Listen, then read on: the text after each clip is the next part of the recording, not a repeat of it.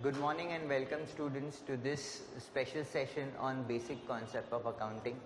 right, देखो हम लोग सबने यहाँ पे accounting as a career choose किया है तो ये बहुत इंपॉर्टेंट है कि अकाउंटिंग को हम बेसिक कॉन्सेप्ट से जानें राइट right? और किसी भी चीज़ को करने के लिए किसी भी चीज़ को प्रॉपरली समझने के लिए ये जानना सबसे पहले ज़रूरी है कि भाई इसको हमें क्यों सीखना है ये हमारे लाइफ में किस तरह से काम आएगा अभी आप वैसे मैंने देखा कि बहुत सारे बच्चे हैं जो अकाउंटिंग को पहली बार समझने की कोशिश कर रहे हैं, जिनको पहले कोई भी अकाउंटिंग का बैकग्राउंड नहीं है।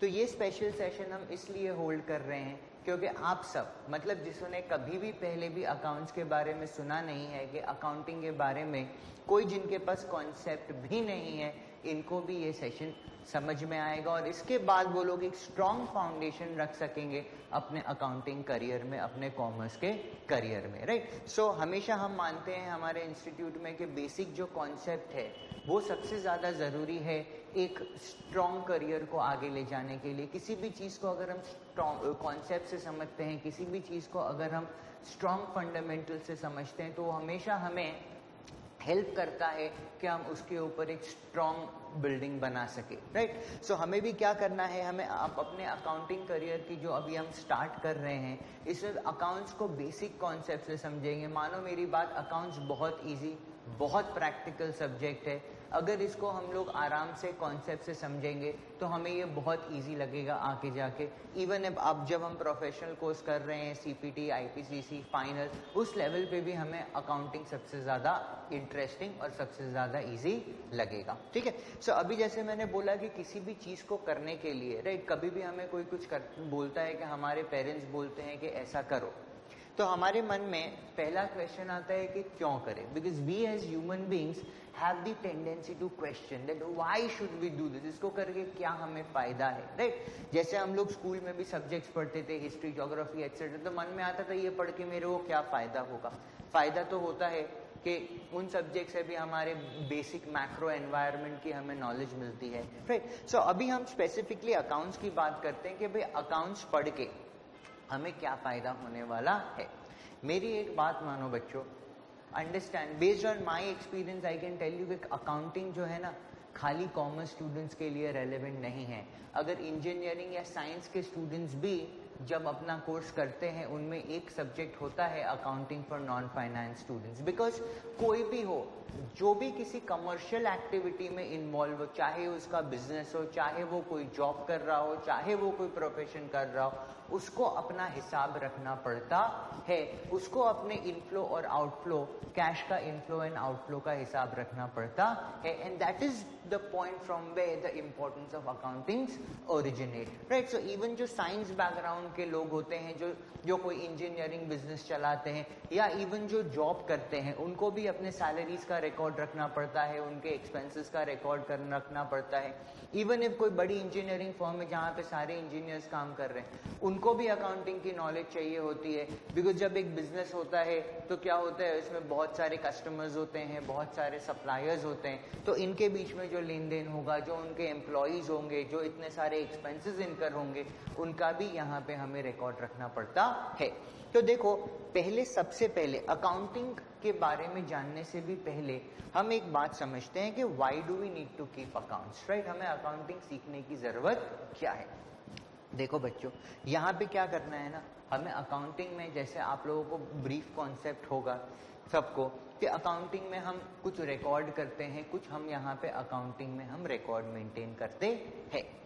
सो so, मैं आपको एक सिंपल कॉन्सेप्ट बताता हूँ। एक एक बहुत छोटा एग्ज़ाम्पल लेते हैं एक बहुत छोटे बिज़नेस का और समझते हैं कि क्या उस बिज़नेस को अपने अकाउंट्स रखने की ज़रूरत है कि नहीं। Whether that business requires to maintain it accounts or not अगर एक छोटे बिज़नेस को ज़रूरत है तो जैसे बिज़नेस का वॉल्यूम बढ़ते जाएगा अकाउंटिंग की जो इंपॉर्टेंस है वो भी वहाँ पे बढ़ती जाएगी right so let us take a simple example समझ लो कि एक स्टोर है ठीक है? एक स्टोर है बड़ा सा स्टोर है समझ लो जहाँ पे ये लोग मोबाइल फ़ोन बेचते हैं। आजकल मोबाइल फ़ोन बहुत ज़्यादा बिकते हैं अभी देख रहे हैं सबके हाथ में मोबाइल फ़ोन से अलग अलग तरह के यूज़ करते रहते हैं दिन भर राइट सो so, समझो ये स्टोर है जो मोबाइल फ़ोन बेचता है। अभी देखो ये स्टोर का ऑपरेशन क्या होगा? ये स्टोर का ऑपरेशन ये होगा कि बहुत सारे सप्लायर्स होंगे सैमसंग लेट्स से एलजी फिर माइक्रोमैक्स फिर अभी दुनिया भर के मोटोरोला एटसेट्रा एटसेट्रा ब्रांड्स यहाँ पे आ गई है। There there are n number of brands which are there in the market तो ये स्टोर क्या करेगा? इन ब्रांड्स के मोबाइल फ़ोन खरीदेगा। राइट इन ब्रांड्स के मोबाइल फ़ोन खरीदेगा। तो ये जो सारी मोबाइल फोन्स की कंपनीज़ है राइट ये इस स्टोर के लिए, राइट, ये इस मोबाइल स्टोर के लिए क्या बन जाएँगे? सप्लायर्स राइट सप्लायर्स मतलब कौन? जो हमें, जिस गुड्स में हम डील करते हैं, वो जो प्रोवाइड करते हैं, जो सप्लाई करते हैं, उनको हम लोग बोलते हैं हमारे suppliers right so this business would have n number of suppliers right supplier one supplier two supplier three till supplier n अभी देखो, जिस तरीके से मार्केट में बिज़नेस होता है कुछ ट्रांजैक्शंस कैश में होते हैं कि भाई माल आया और हमने अपने सप्लायर को तुरंत कैश पे कर दिया राइट कुछ ट्रांजैक्शन क्रेडिट में होते हैं मतलब सप्लायर हमें माल भेज देते हैं गुड्स भेज देते हैं। उसके बाद बोलते हैं कि भाई आपको क्रेडिट पीरियड पंद्रह दिन का दे रहे हैं कि एक महीने का दे रहे हैं राइट एंड उस क्रेडिट पीरियड ओवर होने के बाद हमें उसका पेमेंट करना पड़ता है। सो so, देखो ये स्टोर में पहले गुड्स तो आ गए। अभी इनको बेचने के लिए एम्प्लॉज चाहिएँगे हमें राइट सेल्समैन चाहिएँगे, जो हमारे गुड्स को बेचेंगे।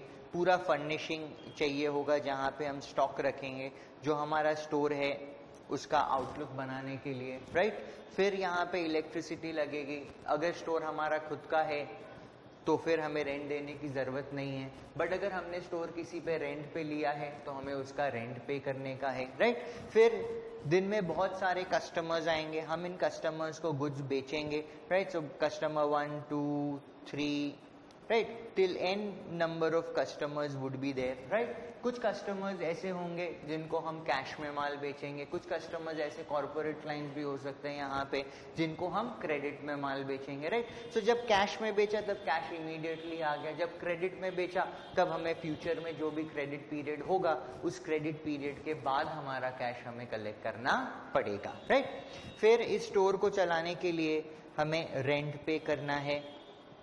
हमें सैलरीज पे करनी है और n number of expenses needs to be incur advertisement printing stationery right etcetera etcetera to operate a particular business right अभी मेरे को एक बात बताओ, अगर आपने ये बिज़नेस स्टार्ट किया है तो आपने एक सब्सटैंशियल अमाउंट ऑफ़ मनी लगाया होगा ये बिज़नेस को स्टार्ट करने के लिए राइट right? और ये बिज़नेस को स्टार्ट करने का आपका ऑब्जेक्टिव क्या है? जैसे कि देखो बिजनेसमैन लोग ये बहुत समझते हैं कि बिज़नेस को हम स्टार्ट क्यों करते हैं? पैसे कमाने के लिए राइट प्रॉफिट अर्न करने के लिए कि भाई दस में खरीदे, पंद्रह में बेचे तो पाँच का हमें प्रॉफिट हो राइट सो अल्टीमेटली ये पता कैसे चलेगा कि भाई इतनी सारी एक्टिविटीज़ हम कर रहे हैं तो हमारा बिज़नेस प्रॉफिट में है या लॉस में है? अभी देखो, दुनिया भर के सप्लायर्स है जो हमें माल बेच रहे हैं, कुछ कैश में भी बेचते हैं, कुछ क्रेडिट में भी बेचते हैं। जिन्होंने क्रेडिट में बेचा है, उनको फ्यूचर में पैसा भी तो देना पड़ेगा ना?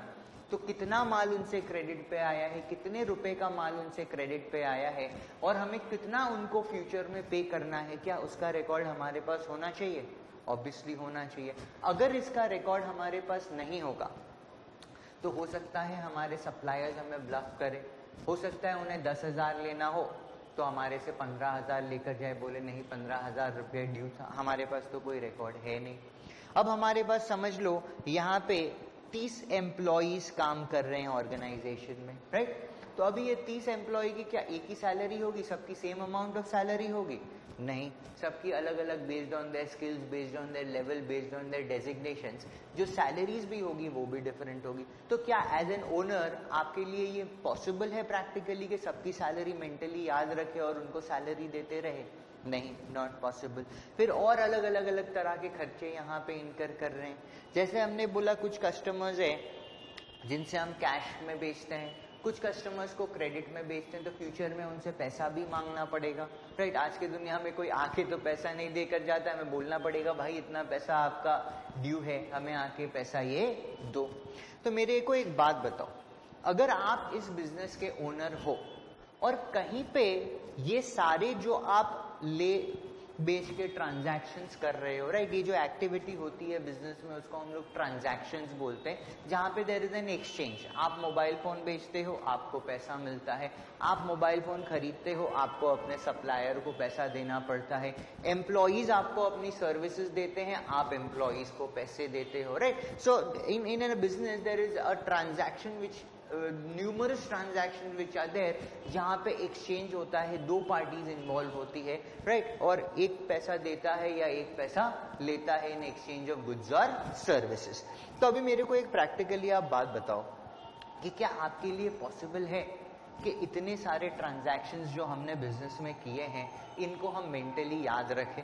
नॉट पॉसिबल राइट फिर अल्टीमेटली ये ट्रांजैक्शंस करने के बाद हमें प्रॉफिट हुआ कि लॉस हुआ उसका भी तो हमें यहाँ पे हिसाब करना पड़ेगा राइट right? सो so, देखो सबसे ज़्यादा ज़रूरी है कि इन सारे ट्रांजैक्शंस का रिकॉर्ड मेंटेन किया जाए बिलीव में अगर आप ये बिज़नेस कर रहे हो और इसकी अकाउंटिंग नहीं कर रहे हो इसके रिकॉर्ड्स नहीं मेंटेन कर रहे हो तो दो तीन महीने में ही आपको बिज़नेस बंद करना पड़ेगा। Because you will lose control over your business आपको पता ही नहीं है कि कितने लोगों से आपने माल खरीदा है कितने लोगों को पैसा देना बाकी है आपने कितने लोगों को माल बेचा है कितने लोगों से पैसा लेना बाकी है आपको कितना सैलरीज का पेमेंट करना है कितना रेंट का पेमेंट करना है और कितने अलग अलग खर्चों का पेमेंट करना है।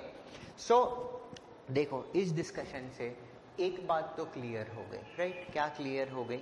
कि भाई, अगर हम कोई कमर्शियल एक्टिविटी कर रहे हैं तो उसकी रिकॉर्डिंग करना ज़रूरी है। और देखो, ये तो हमने एक छोटे से मोबाइल स्टोर का एग्ज़ाम्पल लिया, जो इससे भी बड़े बिज़नेस होंगे। उनके वॉल्यूम ऑफ़ ट्रांजैक्शन जो उनकी एक्टिविटी होगी, वो बहुत बहुत मल्टीपल टाइम्स इससे ज़्यादा बड़ी होगी। तो क्या उनके लिए पॉसिबल है इसको याद रख के?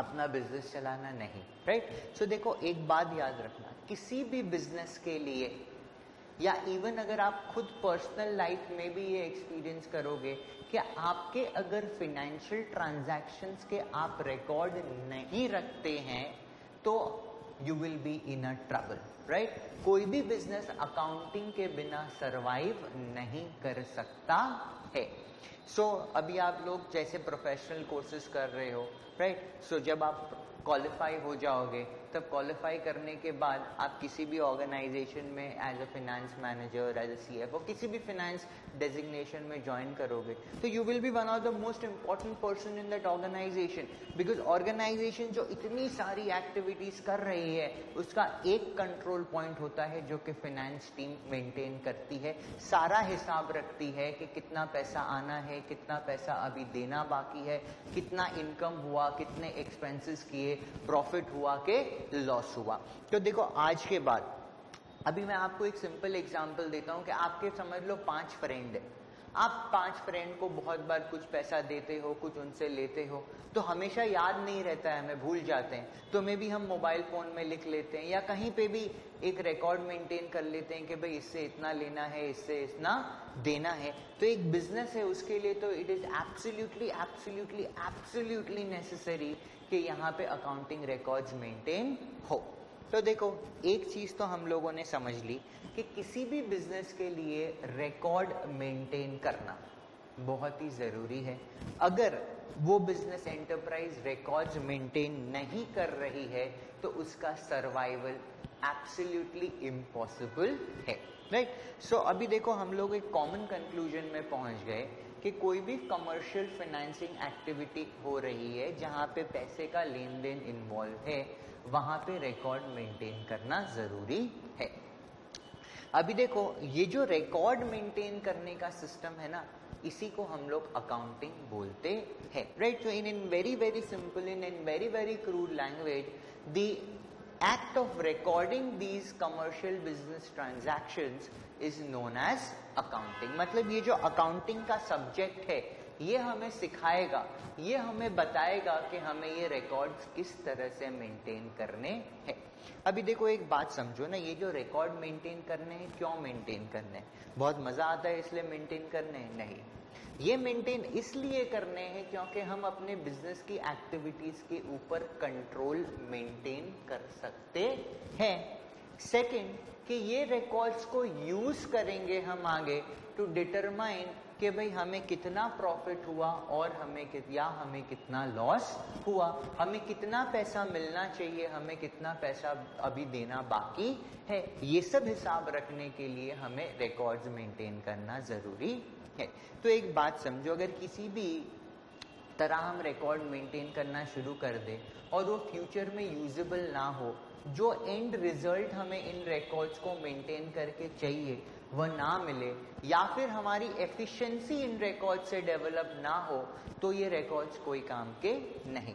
अभी देखो यहाँ पे in today structure you know कि भाई गवर्नमेंट है गवर्नमेंट टैक्सेस कलेक्ट करती है based on the financial records जो सारे बिज़नेस हाउसेस मेंटेन करते हैं।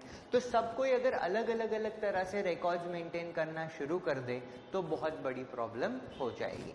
तो अकाउंटिंग जो स्ट्रीम है, उसका डेवलपमेंट का मेन रीजन ये भी है कि रिकॉर्ड तो रखना ही है बट किस तरह से, क्या सिस्टम फॉलो करके हमें रिकॉर्ड रखना है, वो भी समझना ज़रूरी है।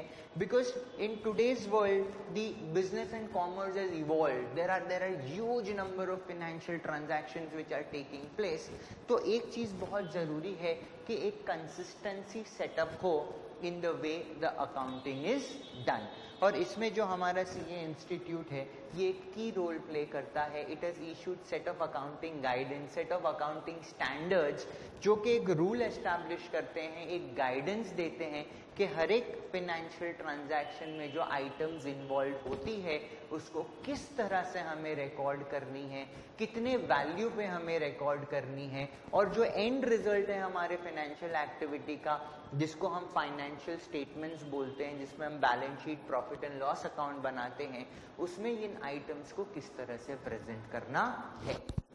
तो अभी वो सब चीज़ पे हम चलेंगे। अभी फ़र्स्ट देखो हम सबसे पहले क्या समझते हैं।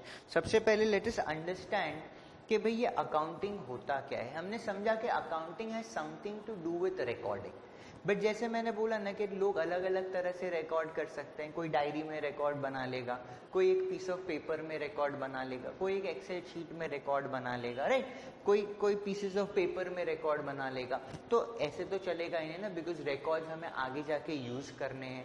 देर आर इवन गाइडेंसेस जैसे हमारा इनकम टैक्स एक्ट है। राइट? जो इनकम टैक्स रूल्स लॉज को डील करता है वो भी स्पेसिफाई करता है कि क्या क्या रिकॉर्ड्स मेंटेन होने चाहिए। अगर कोई कंपनी है तो उसके ऊपर कंपनीज़ एक्ट 2013 एप्लीकेबल है। वो भी बताता है कि क्या बुक्स ऑफ़ अकाउंट्स क्या रिकॉर्ड्स मेंटेन करने चाहिए। अगर आप एक कंपनी ऑपरेट कर रहे हो तो। सो so, देखो दो बात तो साफ़ है। कि अकाउंटिंग बिज़नेस के सर्वाइवल के लिए नेसेसरी है second books of accounts maintain करना मतलब अकाउंटिंग करना इनकम टैक्स लॉ और कंपनीज़ एक्ट के हिसाब से भी ज़रूरी है राइट? सो so, अभी देखो हम अकाउंटिंग समझते हैं कि भाई अकाउंटिंग को किस तरह से डिफाइन किया गया है देखो अकाउंटिंग का जो डेफिनेशन है right one of the definition states that accounting is an art of right देखो क्या करते हैं हम इसमें? Recording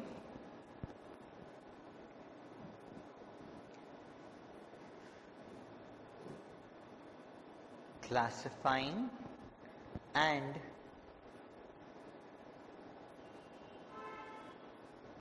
summarising right according accounting is an art of recording मतलब हमने बोला ना रिकॉर्ड करना है। फिर बोला क्लासिफाइंग फिर बोला समराइजिंग बट क्या करेंगे? क्या रिकॉर्ड करेंगे? क्या क्लासिफाई करेंगे? क्या समराइज करेंगे? Right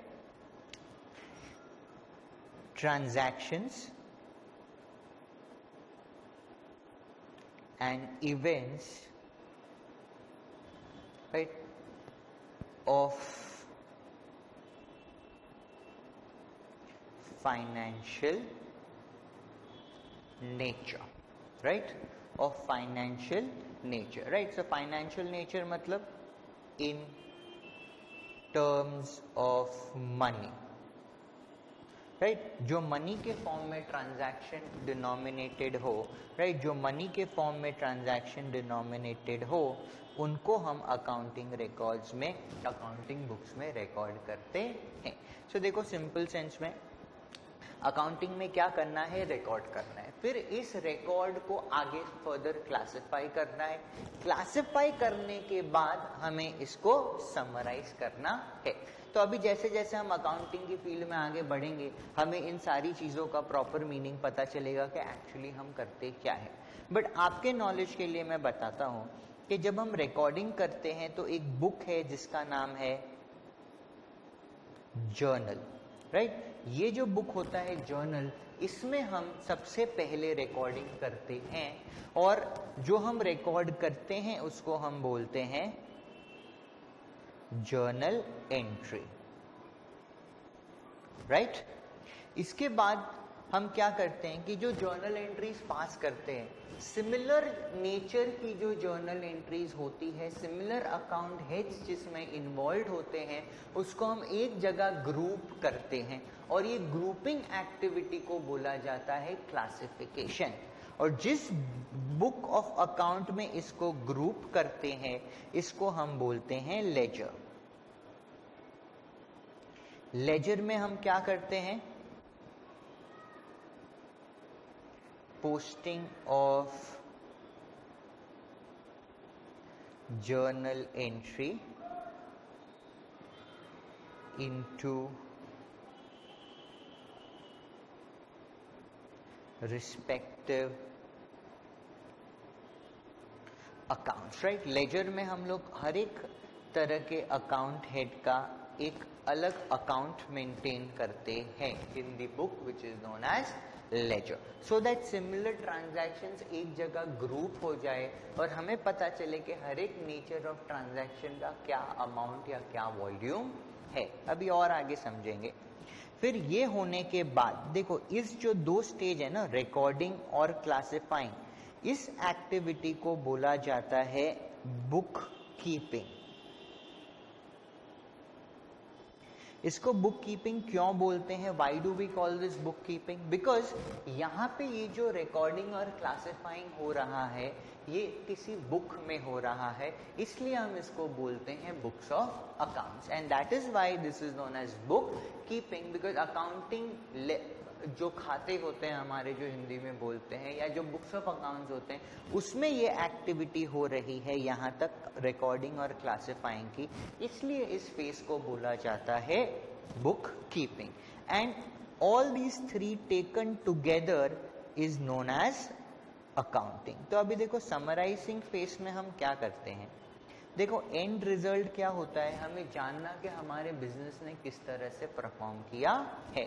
सो so, यहाँ पे हम तीन चीज़ मेंटेन करते हैं या बनाते हैं। और ये समझो ये बुक्स ऑफ़ अकाउंट्स में नहीं बना रहे हैं ये सेट ऑफ़ पेपर्स में हम बना रहे हैं या किसी एक्सेल शीट में हम इसको बना रहे हैं।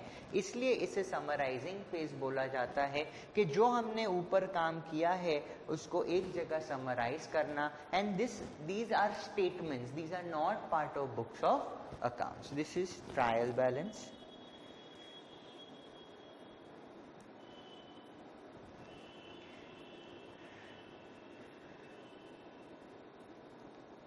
profit and loss account इसको statement of profit and loss भी बोलते हैं.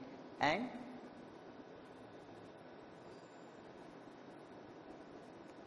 बैलेंस शीट राइट ये तीन चीज़ यहाँ पे मेंटेन होता है. ट्रायल बैलेंस ये लेजर के सारे अकाउंट्स को समराइज करता है। ये यूज़ होता है to know the arithmetical accuracy of the accounts as well इसका एक सेपरेट टॉपिक है, जब जाएँगे वहाँ पे समझेंगे। ये जो प्रॉफिट एंड लॉस अकाउंट है, इससे हम डिटरमाइन करते हैं प्रॉफिट और लॉस और बैलेंस शीट जो है हमें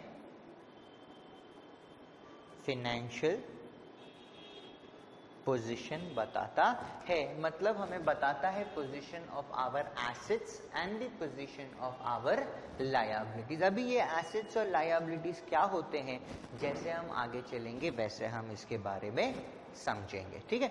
अभी देखो अभी देखो मैं क्या मानता हूँ कि अगर मैं आपको बोलूँ कि कोई पिक्चर बनाओ राइट एक स्केच बनाओ किसी जन का तो आप मेरे को क्या बोलोगे? भाई, किसका स्केच बनाना है वो तो हमें पहले दिखाओ।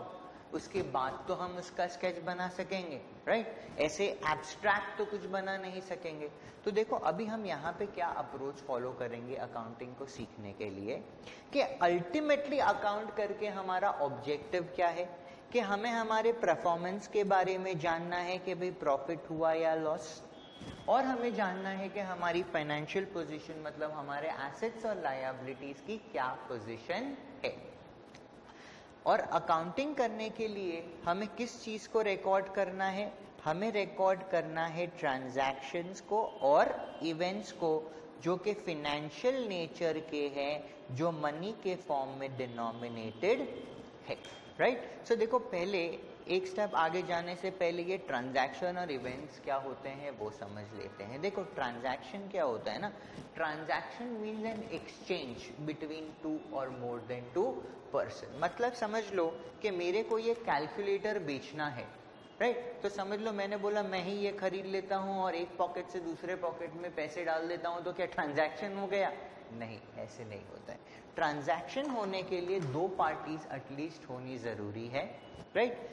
Wherein each party will get something and each party will sacrifice something अभी देखो समझते हैं बहुत इजी टर्म में। समझो कि इसको मैं ये कैलकुलेटर बेच रहा हूँ। पकड़ो भाई, ये कैलकुलेटर पकड़ो। इनको मैं ये कैलकुलेटर बेच रहा हूँ। तो देखो मैं इनको ये कैलकुलेटर दूँगा।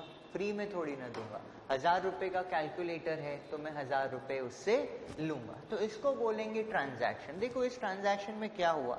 मेरे पास कैलकुलेटर था I forgoed that calculator I sacrifice I gave it to him but इसके बदले मेरे को क्या कुछ मिला? हाँ हज़ार रुपया मिला। अगर इस बच्चे के पॉइंट ऑफ़ व्यू से देखे तो इसने क्या किया? जिसके पास हज़ार रुपए पॉकेट में थे, उसने ये हज़ार रुपए सैक्रिफाइस किए। और ये हज़ार रुपए सैक्रिफाइस करने के बदले इसको ये कैलकुलेटर मिला। लो भाई, अब दे दे वापस कैलकुलेटर ठीक है? तो this is known as a transaction where there is an exchange of value between two or more than two person wherein each party get something and at the same time sacrifices something right लेन देन होना, उसको हम transactions बोलते हैं। तो देखो, कोई भी कमर्शियल ट्रांजैक्शन होगा ना, उसमें दो एस्पेक्ट इन्वॉल्व होंगे। आपको कुछ मिलेगा और आपको उसके बदले कुछ कंसिडरेशन देना पड़ेगा। अभी देखो, ये इवेंट क्या होती है? ऐसे हम इवेंट की बात करें तो अभी जैसे कि फेस्टिव सीज़न आएगा तो हमें बहुत सारे इवेंट के बारे में जैसे let say Durga Puja is there Ganesh Chaturthi etcetera etcetera तो अभी यहाँ पे ये इवेंट की बात नहीं कर रहे हैं राइट या किसी लेट से फ्रेंड की बर्थडे पार्टी है तो ये भी इवेंट बन जाएगी आपके लिए। बट इस इवेंट की बात नहीं कर रहे, यहाँ पे हम बात कर रहे हैं फाइनेंशियल इवेंट की राइट अभी देखो फाइनेंशियल इवेंट का मैं आपको एग्ज़ाम्पल देता हूँ।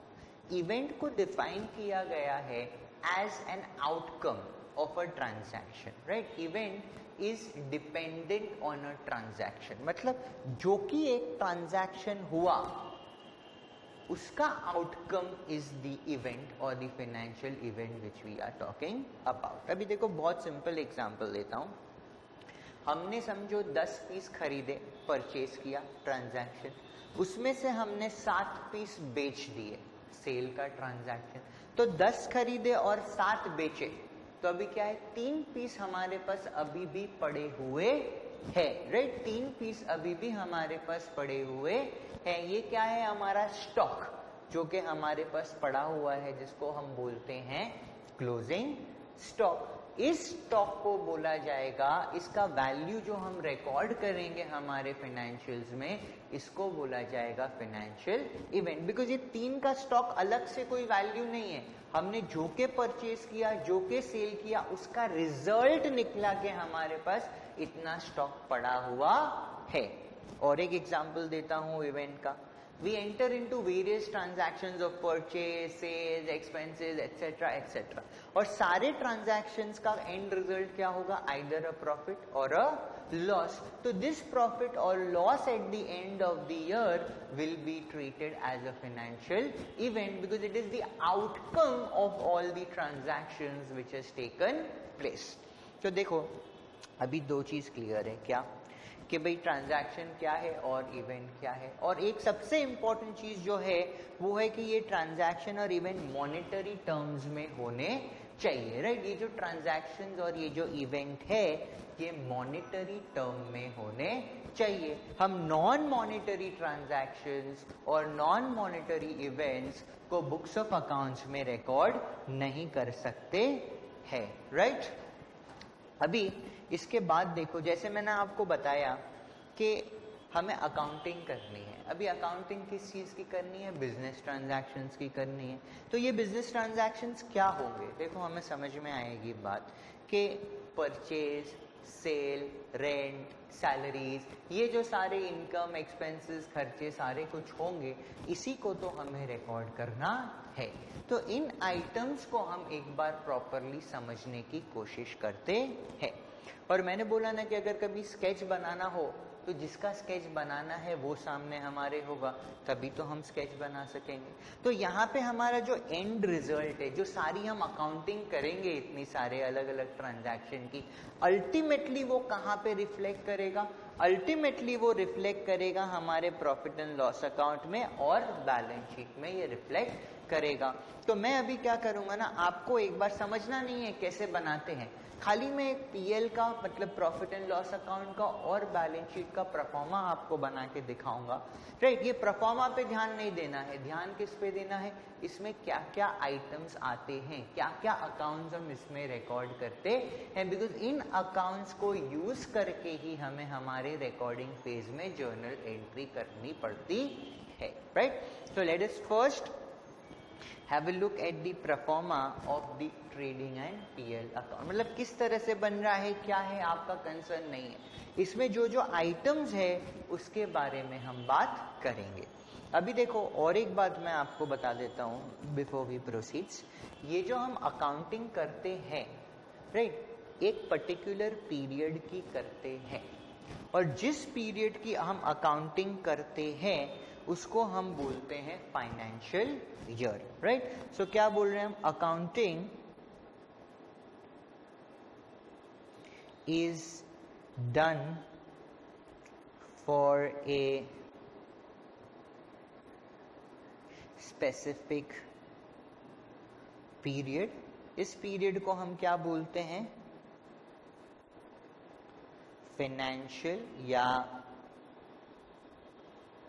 अकाउंटिंग ईयर राइट मतलब अकाउंटिंग तो कंटिन्यूसली होती रहेगी बट इस पीरियड में हम पीएल और बैलेंस शीट अपना बनाएँगे राइट इंडिया में जो फाइनेंशियल ईयर है it's a period of 12 months right it is a period of 12 months और हमारा जो फाइनेंशियल ईयर स्टार्ट होता है, वो फाइनेंशियल ईयर स्टार्ट होता है first of April of every year and it ends on 31st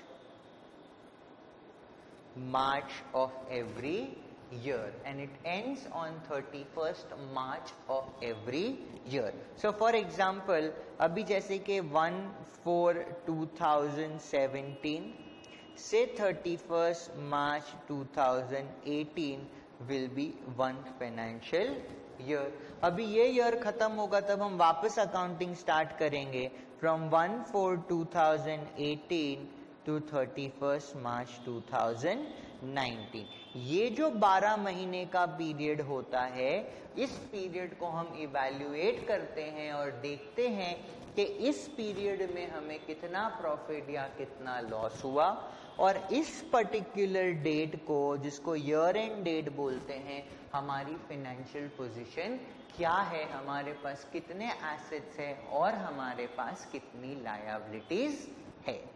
Right absolutely clear about this तो financial मतलब फाइनेंशियल ईयर मतलब अ पीरियड जिसमें हम हमारे फाइनेंशियल रिकॉर्ड्स मेंटेन करते हैं फिर वो पीरियड एंड होने से वापस उसकी फाइनेंशियल रिकॉर्ड को कैरी फॉरवर्ड करते हैं to the next financial year India में फाइनेंशियल ईयर कितने महीने का है 12 मंथ्स का है ऑलमोस्ट सारे कंट्रीज़ में ऐसे ही होता है बट इंडिया का जो फाइनेंशियल ईयर स्टार्ट होता है, वो फ़र्स्ट ऑफ़ अप्रैल से होता है और एंड होता है थर्टी फ़र्स्ट मार्च को। अगर हम देखें तो यूएस में या उस साइड के कंट्रीज़ में, उन लोगों का फाइनेंशियल होता है January to December so it depends upon country to country के उन्होंने अपना फाइनेंशियल ईयर किस तरह से रखा है।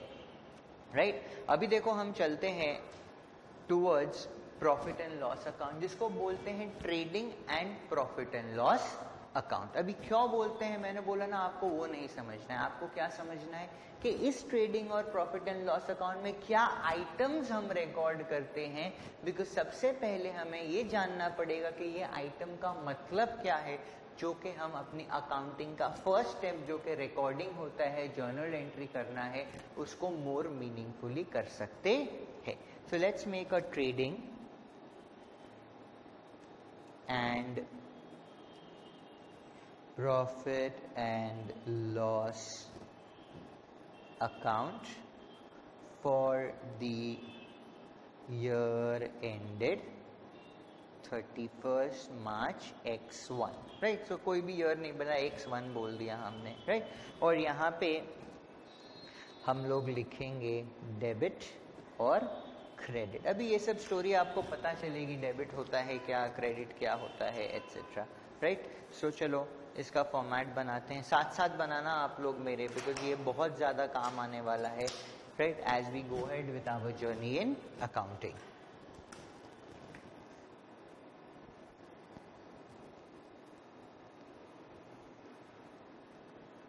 और हमेशा एक बात याद रखने की बिकॉज़ अभी देखो ये जर्नी आप लोगों की स्टार्ट हो रही है। तो सबसे ज़्यादा इंपॉर्टेंट है कि हम जो काम कर रहे हैं, उस पर फोकस्ड रहे। हम जो काम कर रहे हैं, उस पर डिटरमाइंड रहे और पूरी मेहनत से उस काम को करना ज़रूरी है।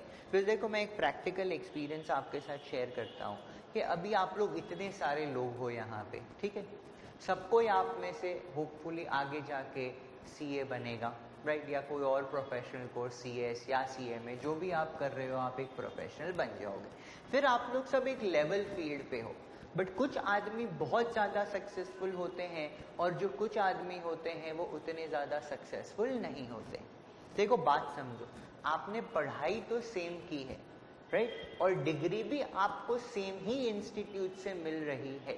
बट क्यों ऐसा होता है कि भाई कोई बहुत ज़्यादा सक्सेसफुल होता है और कोई कम सक्सेसफुल होता है? क्योंकि नॉलेज जो है, सबको तो सेम इम्पार्ट की गई है। देखो, ये जो सक्सेस है ना, ये हमारे पर्सनल एट्रीब्यूट के ऊपर डिपेंड करता है कि एज ए ह्यूमन बीइंग हमने अपने आप को किस तरह से डेवलप किया है। मतलब कि जो हमारे इनर वर्च्यूज है, वो काम आते हैं सक्सेस के लिए, ना कि टेक्निकल एक्सपीरियंस या टेक्निकल एक्सपर्टाइज ये तो सबके पास है। जो भी सीए है, उन्होंने वो किताबें पढ़ी है, सारे लेवल सीए के क्लियर किए है। बट जो आपका किसी चीज़ को करने का अप्रोच है जो आपका एटीट्यूड है टूवर्ड्स लाइफ जो आप एक्स्ट्रा माइल जाने का हौसला रखते हो कि नहीं, मेरे को कुछ अचीव करना है, जो आपके लाइफ की डिसिप्लिन है, जो आपके लाइफ की पंक्चुअलिटी है, ये जो सारे वर्च्यूज है, ये आपको अलग करता है दूसरों से। तो इन पे भी काम करना साथ साथ में ज़रूरी है बिकॉज़ खाली पढ़ने से कोई सक्सेसफुल नहीं होता। आपको अपने आप को right attitude right frame of mind में रखना पड़ेगा। आपको डिसिप्लिन रहना पड़ेगा, क्योंकि ये बड़ा कोर्स है। इसमें थ्रू आउट आपको कंसिस्टेंटली अच्छा परफॉर्म करना है। Please remember every small success और every small step which you take daily leads to a big success in future right so इस जो पढ़ाई है, इसको आप लोग ऐसे पढ़ाई मत लेना। बिकॉज़ जब हम पढ़ाई लेते हैं ना, तब ये हमारे ऊपर में भी बर्डन बन जाता है। बट आप समझो, ये जो पढ़ाई है इसको करके फ्यूचर में आप एक प्रोफेशनल बनने वाले हो राइट right? इससे आपकी रिस्पेक्ट होगी। इससे you will earn money for yourself for your family तो इसको पढ़ाई से तरह से मत लो। इसको लो कि it's an journey it's a skill development thing which you are doing right now जिससे आप फ्यूचर में जाके इम्प्लीमेंट करने वाले हो। अभी ये चार पाँच साल जो आपके एकेडमिक करियर के हैं, ये बहुत ज़्यादा इम्पोर्टेंट है। अगर आप इसमें फोकस रहते हो तो मे बी फ्यूचर के जो 50 साल है वो आपके सिक्योर हो जाएँगे। और अगर इसको आप प्रॉपरली नहीं लेते हो तो फिर स्ट्रगल ही स्ट्रगल करना पड़ेगा। सो so, अभी आपकी जो एज है मैं मानता हूँ it is act enough to understand what is good for you and what is not good for you कैसे फ्रेंड्स हमें रखने हैं कैसी कंपनी हमें रखनी है क्या हमें करना है इस समय हमारे लिए क्या प्रायोरिटी है ये भी समझना बहुत ज़्यादा ज़रूरी है। और जैसे मैं यहाँ पे एकेडमिक की बात करूँ, मैं अपने जो दूसरे स्टूडेंट्स होते हैं आईपीसीसी के फाइनल के, उनको भी स्ट्रिक्ट इंस्ट्रक्शन है कि भाई जिस दिन आप ट्यूशंस करते हो इतने सारे दिन भर जिस दिन जो आपको पढ़ाया जाता है, वो सेम चीज़ को पढ़ना आपके लिए बहुत ज़्यादा ज़रूरी है। अगर सेम डे आप वो पढ़ाई नहीं करते हो then believe me it is as good as not doing it because जो आप क्लास में पढ़ते हो, हमारा रिटेंशन पावर इतना ज़्यादा नहीं होता कि वर्ड टू वर्ड एक बार में हमें याद रह जाता इट इज़ वेरी इंपॉर्टेंट कि जो जिस दिन क्लास में हुआ है उसी दिन आपको उसको घर जाके वापस रिवाइज करना ज़रूरी है। अगर उसको रिवाइज नहीं करोगे, अगर ये डिसिप्लिन आप मेंटेन नहीं करोगे बिलीव मी फ्यूचर में जाके बहुत प्रॉब्लम आएगी। अभी साथ साथ अगर रिवाइज कर लोगे तो आपको बिलीव मी वन फोर्थ से भी कम टाइम लगेगा जो नॉर्मली आपको लगेगा अगर आप एक हफ़्ते या दो हफ़्ते बाद सेम चीज़ को देखने बैठते हो। तो please ensure that you maintain this discipline right in yourself throughout your career throughout your studies कोई भी लेवल में आप हो बट आपको ये डिसिप्लिन मेंटेन ज़रूर करनी है। राइट गाइस तो चालू करते हैं trading and profit and loss account देखते हैं इसमें क्या क्या आइटम आएगी। सी एज वी नो कि trading and profit and loss account से क्या होगा? वील डिटरमाइन द प्रॉफिट और loss for the year right so so, ये ट्रेडिंग अकाउंट में देखो हमें पता है कि प्रॉफिट या लॉस कैसे होता है। कुछ माल बेचता है ऑर्गेनाइजेशन उसको खरीदता है कुछ एक्सपेंसेस इनकर करता है और जो उसका डिफरेंस है उसको हम लोग बोलते हैं आइदर अ प्रॉफिट और a loss right so so, ये जो trading and profit and loss account है इसमें हम लोग क्या रिकॉर्ड करते हैं? इसमें हम इनकम एंड एक्सपेंसेस रिकॉर्ड करते हैं right we record our income and the expenses with the organisation incurs particulars amount particulars amount right? So देखो First, this, this statement is divided into two parts. The upper portion is known as the trading account and the lower portion is known as the profit and loss account. Right? So देखो हम लोग start करेंगे इसको to opening stock इसको यहाँ पे mention करेंगे। देखो opening stock is neither an income nor an expense but it is the stock of goods which we are holding on the first day of the year देखो, कोई भी business organisation में ऐसा तो नहीं होता है ना कि ईयर एंड मतलब जो थर्टी फ़र्स्ट मार्च आता है, उसमें सारा माल बिक गया। Obviously running organisation will have some goods with it right so ये जो माल इनको के पास पड़ा हुआ है ईयर एंड पे, इसको बोलते हैं क्लोजिंग स्टॉक और नेक्स्ट डे जब फ़र्स्ट अप्रैल को वो अपने अकाउंट्स वापस कैरी फॉरवर्ड करता है तो जो लास्ट ईयर का क्लोजिंग स्टॉक हो जाता है, वो नेक्स्ट डे का ओपनिंग स्टॉक हो जाता है. So what is this this is basically stock on first April right this is our stock on first of April और ये किस चीज़ का स्टॉक है? Stock of goods in which we deal in this is the stock of goods in which we deal मतलब जो business है आपका मे बी अगर आपका इलेक्ट्रॉनिक्स का बिज़नेस है तो इलेक्ट्रॉनिक्स आइटम गारमेंट्स का बिज़नेस है तो गारमेंट्स वाली आइटम मतलब जिस चीज़ में आप डील करते हो, उस वाले स्टॉक को हम लोग बोलेंगे ओपनिंग स्टॉक जो कि first day of the accounting year पे आपके पास है, आपके प्रेमाइसिस आपके गोडाउन में जो आपको बिलोंग करता है। फिर हम लोग यहाँ पे लिखेंगे टू परचेज अब ये to buy etcetera just don't think about it because मैंने क्या बोला है कि आपको आइटम्स के ऊपर कॉन्सेंट्रेट करना है। ये फॉर्मेट किस तरह से बन रहा है उसके ऊपर कॉन्सेंट्रेट करने की ज़रूरत नहीं है राइट right? सो so, यहाँ पे परचेजेस हम लिखेंगे। अभी बहुत बार क्या होता है कि हम गुड्स खरीदते हैं बट अगर उसकी क्वालिटी सही ना हो या ना, हमारे बिज़नेस के लिए अप्रोप्रिएट ना हो तो हम उसको रिटर्न कर देते हैं सप्लायर को। So we say less purchase return right so यहाँ पे ये आ गया हमारा नेट परचेजेस फिर कुछ एक्सपेंसेस इनकर होते हैं बिज़नेस में directly relating to my purchases something like let's say carriage inward ये कैरेज इनवर्ड क्या होता है?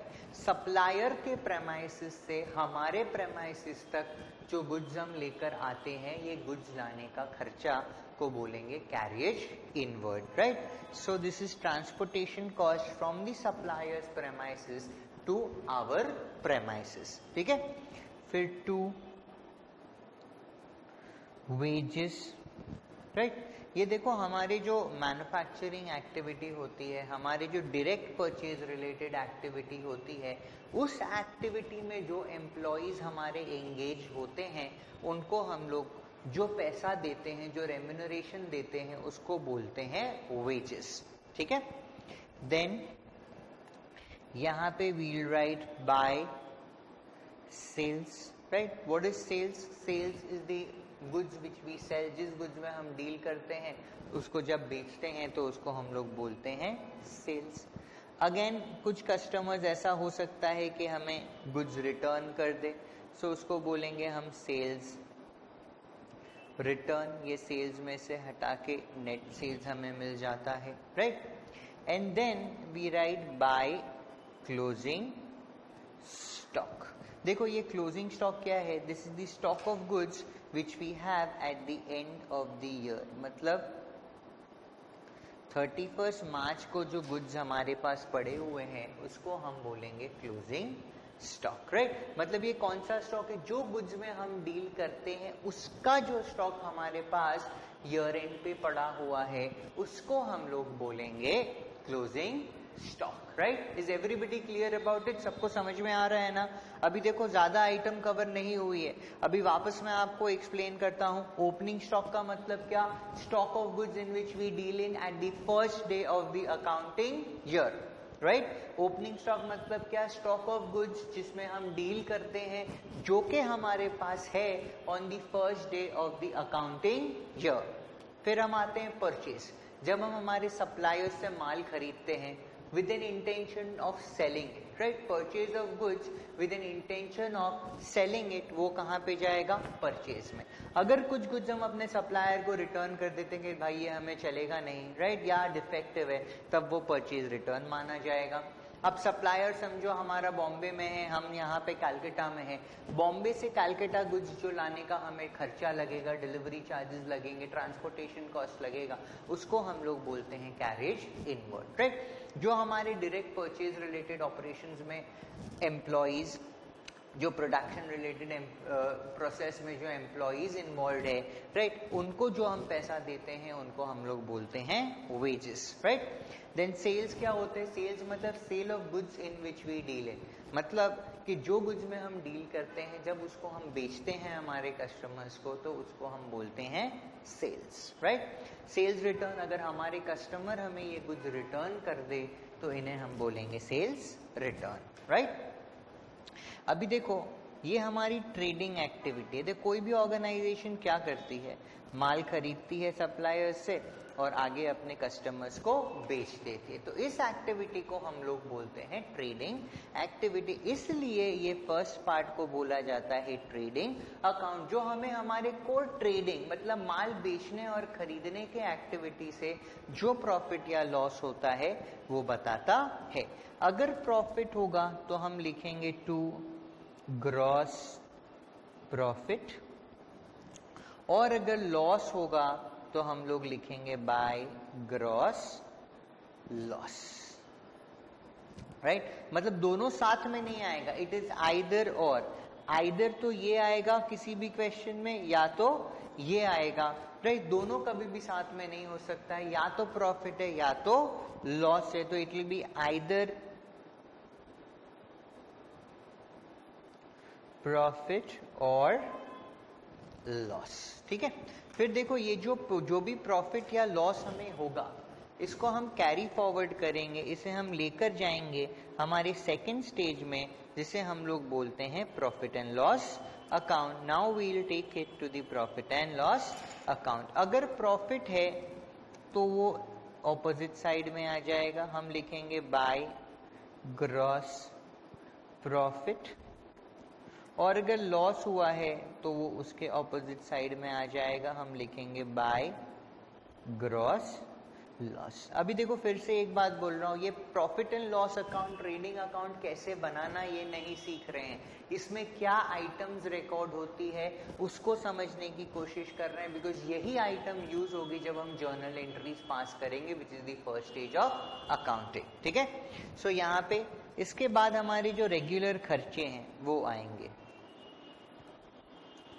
We'll write two salaries to rent to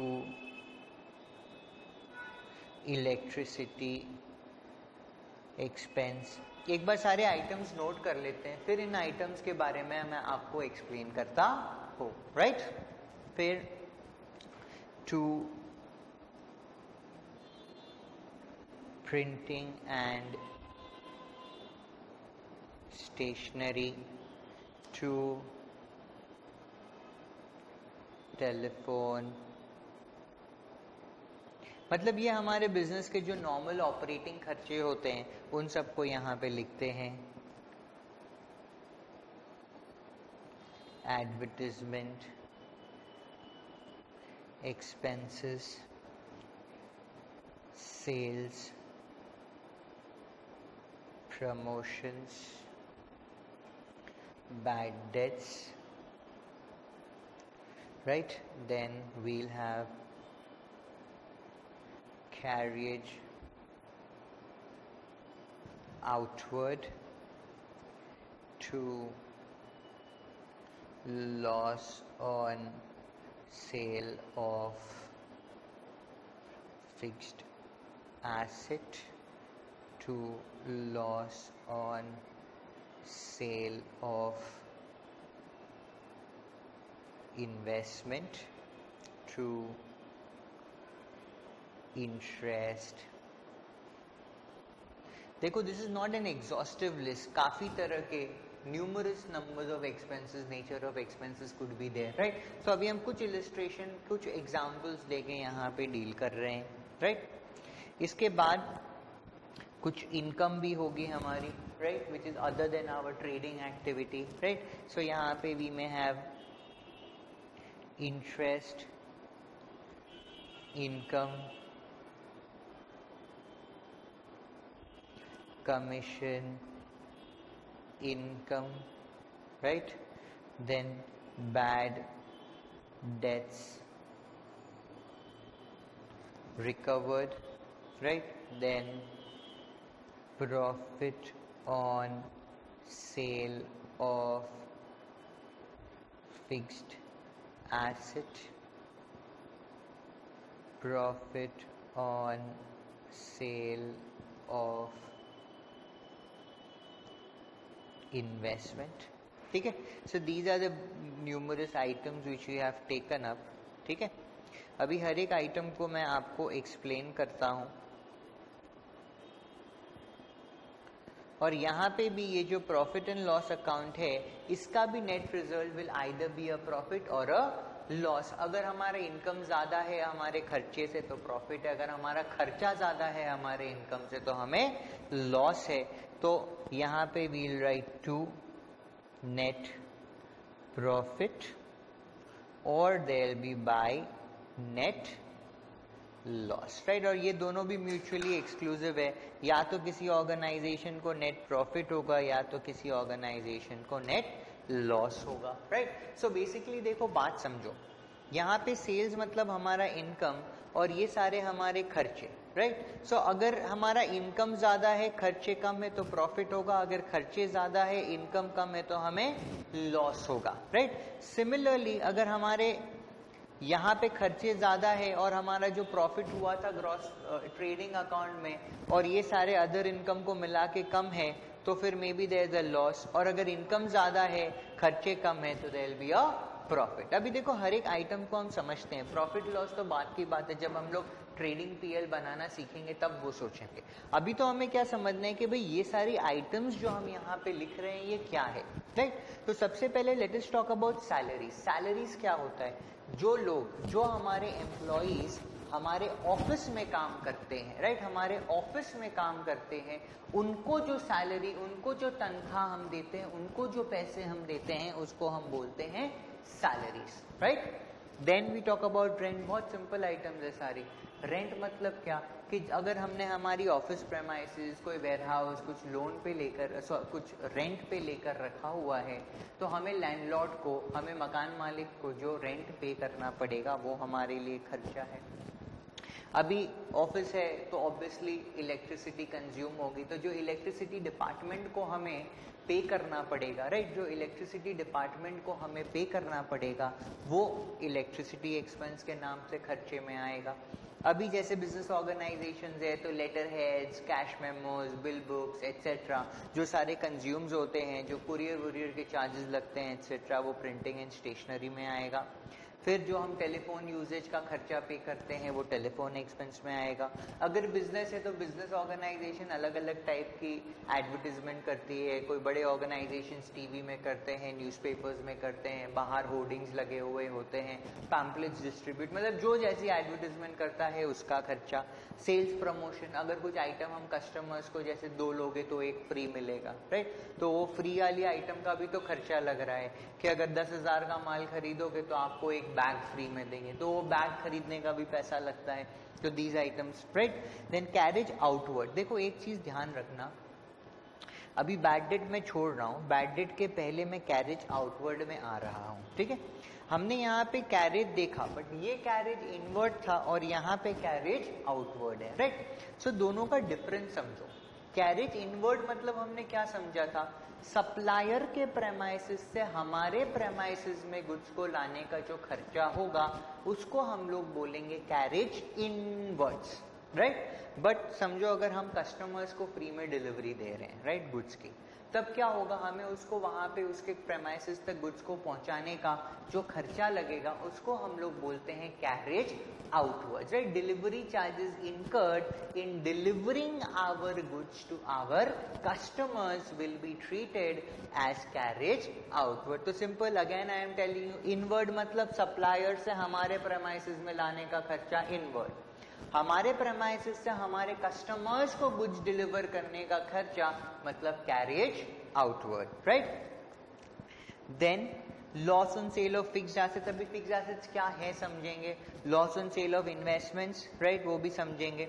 then interest expense अगर हमने बैंक से कोई लोन लिया है टू डू आवर बिज़नेस तो बैंक लोन ऐसे थोड़ी ना दे देगा, हमसे इंटरेस्ट चार्ज करेगा. तो ये इंटरेस्ट हमारे लिए क्या हो गया? खर्चा राइट तो जो बैंक को हम इंटरेस्ट पे करते हैं या किसी से अगर हमने पैसा लोन पे लिया है, उस पे ऊपर जो इंटरेस्ट पे करते हैं, उसको बोलेंगे इंटरेस्ट एक्सपेंस राइट अभी बैड डेट छोड़ा हुआ है बैड डेट को देखेंगे। अभी देखो, यहाँ पे इनकम की बात करें इंटरेस्ट इनकम अगर हमने किसी को लोन दिया है, या अगर हमारा पैसा बैंक में सेविंग्स अकाउंट में, या फिक्स डिपॉजिट में पड़ा हुआ है तो बैंक जो हमें इंटरेस्ट देगा, वो हमारे लिए क्या है? इनकम है। इसलिए हम लिख रहे हैं इंटरेस्ट इनकम अभी समझो कि किसी के बिहाफ में हम माल बेच रहे हैं। किसी कंपनी ने बोला कि हमारा माल आप अपने मार्केट में बेचो, आपको हम पाँच परसेंट कमीशन देंगे तो वो हमारे लिए इनकम हो गया। So that is commission income bad debt छोड़ा था तो बैड डेट रिकवर्ड भी छोड़ रहे हैं अभी। फिर profit on sale of fix assets profit on sale of investment अगर कोई फिक्स एसेट बेचा, उससे प्रॉफिट हुआ इन्वेस्टमेंट बेचा, उससे प्रॉफिट हुआ, वो यहाँ पे आएगा। अभी समझेंगे बैलेंस शीट के तरफ़ चलेंगे तो फिक्स एसेट्स और इन्वेस्टमेंट्स को भी समझेंगे। अभी देखो, ये बैड डेट के बारे में बात करते हैं। मैं आपको समझाता हूँ बैड डेट क्या होता है।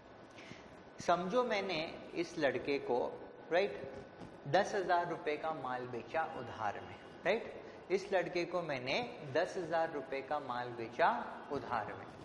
बोला कि भाई, तुम मेरे को तीस दिन के बाद इसका पेमेंट दे देना राइट अभी खुश हो रहा है कि भाई, उधार में माल मिल गया है।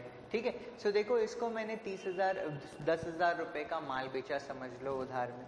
जब तीस दिन के बाद में इसके पास गया कि भाई, मेरे पैसे दो तो इसने बोला, नहीं सर, पैसे तो है ही नहीं। अभी कंगाल हो चुके हैं बैंक हो चुके हैं आई कैनॉट पे सो so, देखो मेरे को जो पैसा मिलने वाला था राइट right? वो अभी मिला नहीं। देखो जो पैसा मिलने वाला होता है ना अगर वो नहीं मिलता है तो लॉस हो जाएगा। तो उस लॉस को हम बोलते हैं बैड डेट्स मतलब सिंपल सेंस में if we have sold goods on credit and if our customer fails to pay the money the loss which we incur is known as bad debt वापिस बोल रहा हूँ लिखना है तो लिख लो। When we sell goods on credit right when we sell goods on credit and if later our customer does not pay us the money, right? If later our customer does not pay us the money, that is known as bad debt मतलब हमने उधार में माल बेचा और customer ने बाद में बोल दिया कि भाई पैसे नहीं है, हम पैसे दे नहीं सकते है तो उसको हम क्या बोलेंगे? उसको बोलेंगे बैड डेट ठीक है? फिर अब बैड डेट रिकवर्ड की तरफ़ आते हैं। मे बी हमने इसको माल बेचा, दस हज़ार का इसने दिया नहीं, हमने bad debt recover bad debt यहाँ पे लिख दिया। समझो अभी दो तीन साल के बाद जब ये सीए बन जाता है, ठीक है? बहुत पैसे हो जाते हैं इसके पास। तो ये आ गया मेरे पास सर देखिए, आपको तब पैसे नहीं दे चुका था। बट मैं इंटीग्रिटी वाला आदमी हूँ एथिकल वैल्यूज़ वाला आदमी हूँ। आपके पैसे मानना नहीं है मेरे को।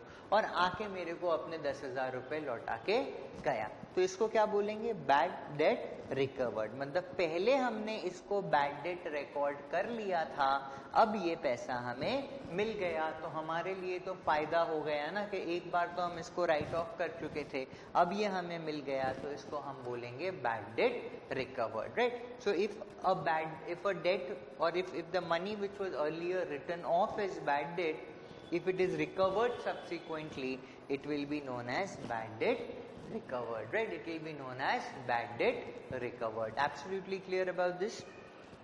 अभी देखो, हमने ये ट्रेडिंग और पीएल की कुछ आइटम तो देख ली। एक बार वापस इसको देखते हैं राइट? परचेज मतलब क्या? जो गुड्स हम बेचने वाले हैं, पहले तो उनको सप्लायर से खरीदना पड़ेगा तो वो हमारे परचेज उसमें से कुछ डिफेक्टिव माल अगर हमने सप्लायर को रिटर्न कर दिया तो वो परचेज रिटर्न राइट फिर ये गुड्स हम अपने कस्टमर्स को बेचेंगे, जब कस्टमर्स को बेचेंगे, उसको हम क्या बोलेंगे? सेल्स राइट कस्टमर्स अगर हमें रिटर्न कर देंगे तो सेल्स रिटर्न कैरेज इनवर्ड मतलब गुड्स को हमारे प्रेमाइसिस तक लाने का खर्चा. जो हमारे परचेज या प्रोडक्टिव एक्टिविटी में जो स्टाफ इन्वॉल्व होगा, उनको जो पैसे देंगे, उसको क्या बोलेंगे? वेजेस देन सैलरीज मतलब जो हमारे ऑफ़िस में लोग काम कर रहे हैं एम्प्लॉयज़ काम कर रहे हैं, उनका जो रेम्यूनरेशन हम देंगे, उनको बोलेंगे सैलरीज रेंट जो प्रेमाइस हमने भाड़े पे ली है राइट टूरानाबा ऑफ़िस और टूराना फैक्ट्री और वेयर हाउस और उसके लिए जो हम अपने लैंडलॉर्ड को पेमेंट करते हैं, उसको हम लोग बोलते हैं रेंट प्रिंटिंग इलेक्ट्रिसिटी अभी बिजली चलती है lights tubelights fans air conditioners right अभी तो हर एक चीज़ में इलेक्ट्रिसिटी की ज़रूरत पड़ती है मोबाइल चार्जर एक्सेट्रा तो जो भी इलेक्ट्रिसिटी हम कंज्यूम करते हैं, उसके लिए इलेक्ट्रिसिटी बोर्ड को जो पैसा देते हैं, उसको हम लोग बोलते हैं electricity expense similarly printing stationery का खर्चा टेलीफोन का खर्चा एडवर्टीजमेंट्स या सेल्स प्रमोशन कर रहे हैं, उसका खर्चा. बैड सब समझ लिया है, क्या है? कस्टमर को माल बेचा उधार में कस्टमर ने हमें पैसा नहीं दिया, उसके कारण जो लॉस हुआ, उसको हम बोलेंगे बैड डेट्स फिर कैरेज आउटवर्ड हमारे कस्टमर्स को गुड्स डिलीवर करने का, जो ट्रांसपोर्टेशन का खर्चा लगेगा, उसको हम लोग बोलेंगे कैरियज आउटवर्ड्स राइट देन ये फिक्स एसेट्स इन्वेस्टमेंट अभी समझेंगे। अगर कोई लोन लिया है तो लोन के ऊपर क्या पे करना पड़ेगा? इंटरेस्ट पे करना पड़ेगा तो वो हमारे लिए खर्चा है तो उसको बोलते हैं इंटरेस्ट एक्सपेंस देन अगर हमारा पैसा बैंक में हमने रखा हुआ है तो बैंक जो हमें ब्याज देगा, जो इंटरेस्ट देगा, वो हमारे लिए इनकम है। अगर हम किसी के बिहाफ में माल बेचते हैं राइट right? तो वो हमें कमीशन देगा, वो हमारे लिए इनकम है। बैड डेट रिकवर्ड की स्टोरी पता है कि पहले हम इसको बैड डेट मान चुके थे, हमारा लॉस मान चुके थे। बाद में अगर वो आदमी हमें वो पैसा देकर जाता है तो उसको हम बैड डेट रिकवर्ड के नाम से लिखते हैं right then we have profit on sale of fix profit on sale of investment वो अभी बैलेंस शीट की तरफ़ चलेंगे, तब देखेंगे right are you clear about the concept देखो, ये पीएल ट्रेडिंग नहीं समझना था, ये आइटम समझनी थी, क्योंकि जब जर्नल एंट्री मारते वक्त ये आइटम्स हमें आएगी, तब हमें पता होगा कि भाई ये होती क्या है। और अगर हमें ये आइटम्स के बारे में नॉलेज है तो जर्नल एंट्री रिकॉर्डिंग करना बहुत ज़्यादा आसान हो जाएगा, ठीक है? तो अभी हम लोग चलते हैं बैलेंस शीट की तरफ़, देखते हैं कि इसमें क्या क्या आइटम्स होती है और इसका हमें क्या यूज़ है। Right so let us see balance sheet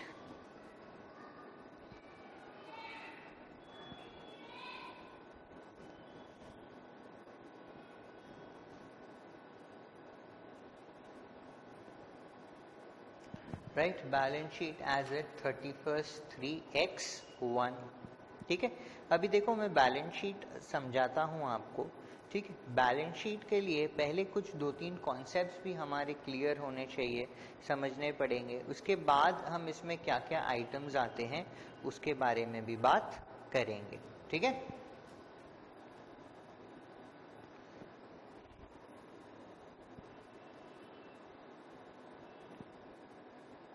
जब हम लोग ट्रेडिंग पीएल बना रहे थे I again show you the format तब वहाँ पे डेबिट क्रेडिट लिखा था। यहाँ पे डेबिट क्रेडिट लिखने की ज़रूरत नहीं है। देखो, बैलेंस शीट में दो चीज़ें आती है राइट दो साइड है तो दो चीज़ें आएगी बैलेंस शीट में। यहाँ पे हम लोग लिखेंगे लायबिलिटीज यहाँ पे लिखेंगे एसेट्स ठीक है? और this is how the balance sheet would look like अभी देखो हमें समझना पड़ेगा कि ये लायबिलिटी क्या है और ये एसेट क्या है before we go forward with the item ठीक है? ध्यान से यहाँ पे लिखो। लायबिलिटी मतलब क्या? लायबिलिटी मतलब क्या? Results in outflow of cash और बेनिफिट्स मतलब लायबिलिटी एक ऐसी आइटम है which will result in to outflow of cash और बेनिफिट्स इन फ्यूचर राइट मतलब फ्यूचर में इन आइटम्स के वजह से एक आउटफ्लो होने वाला है. Right right? फ्यूचर में इन आइटम के वजह से एक आउटफ्लो होने वाला है. किसका आउटफ्लो या तो कैश का आउटफ्लो होने वाला है या तो किसी बेनिफिट का आउटफ्लो होने वाला है, उसको हम लोग बोलते हैं लायाबिलिटीज अब इसमें क्या क्या आइटम्स आती है और उसको वापस इसके साथ हम कोरिलेट करेंगे. सबसे पहले लिखेंगे कैपिटल ठीक है? इसमें लेस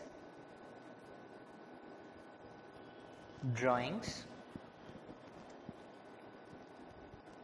जो भी लेस की चीज़ होती है, उसको ब्रैकेट में डालते हैं। Add introduction add profit less loss right या तो प्रॉफिट होगा, या तो लॉस होगा।